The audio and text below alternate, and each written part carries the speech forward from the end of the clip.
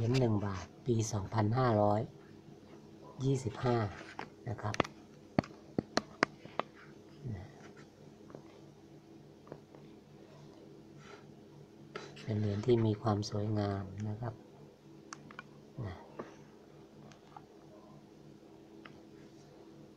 ราคาปัจจุบันนี้ก็ยังไม่ได้แพงนะครับ